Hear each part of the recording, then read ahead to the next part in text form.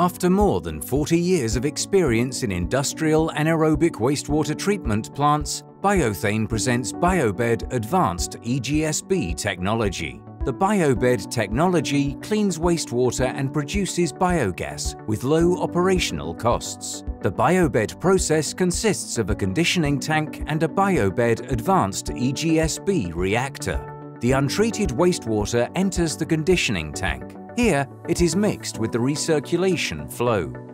The influent is optimally conditioned for the biological needs by the addition of nutrients, pH and or temperature control.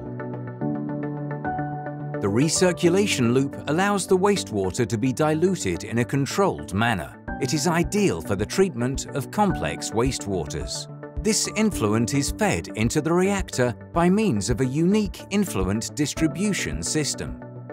This ensures a proper mixing between the anaerobic biomass and the wastewater.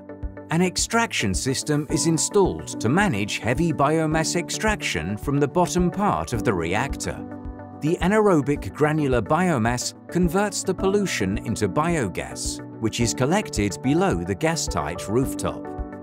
In the top of the reactor, the patented three-phase separator is installed. It separates the biogas from the anaerobic effluent.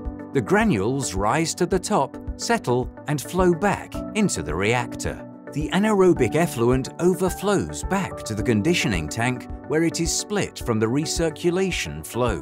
The BioBed process stands for Robust Process Operation. It allows for high recirculation flow. This ensures the proper mixing of biomass. The process is flexible. The mechanical control of mixing allows for high performance at a wide range of COD load variations. The process is fully automated and can be controlled by self-regulating load control. Interested? Our team is ready to support.